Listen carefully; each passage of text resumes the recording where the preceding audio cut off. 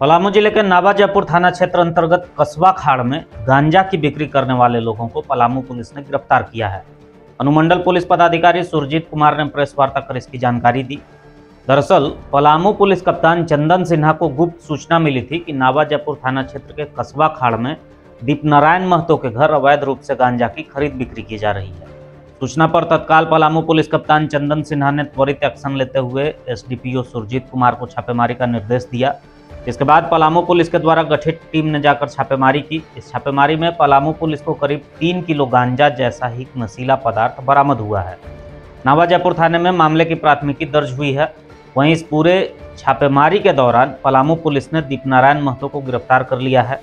मौके पर तरहसी थाना क्षेत्र के देल्हा निवासी नवीन कुमार मेहता और मुकेश भूइया को भी पलामू पुलिस ने गिरफ़्तार किया है।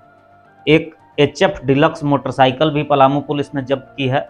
जिसके डिक्की में काला प्लास्टिक में करीब 400 ग्राम गांजा जैसा ही पदार्थ रखा हुआ था।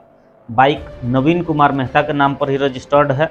पलामू पुलिस दीपनारायण महतो के पूरे तंत्र का पता लगाने में जुटी है कि आखिरकार गांजा कहाँ से लाकर बेचा जा रहा था। क्या हुआ? हाथ जल गई? हाँ, टेंशन में है? हाँ, क्यों बच्चे का एडमिशन नहीं हो रहा है? हाँ भाई हाँ। भाई साहब दो किलो आलू दीजिएगा तो? आलू का दुकान है। अच्छा अच्छा। क्या हुआ भाई साहब? परेशान है? हाँ।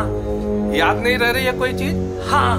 बच्चों की एडमिशन के लिए टेंशन में है? अरे हाँ भाई हाँ। परेशान है? हाँ। बच्चों के लिए स्कूल तलाश रहे हैं? अरे हाँ। एडमिशन नहीं हो रही है? अरे हाँ बाबा हाँ। अरे जब ग्रीन वैली इंटरनेशनल स्कूल है इधर तो आप टेंशन क्यों लेते हैं उधर? जी हाँ ग्रीन वैली इंटरनेशनल स्कूल जो गढ़ता है आपके बच्चों का भविष्य।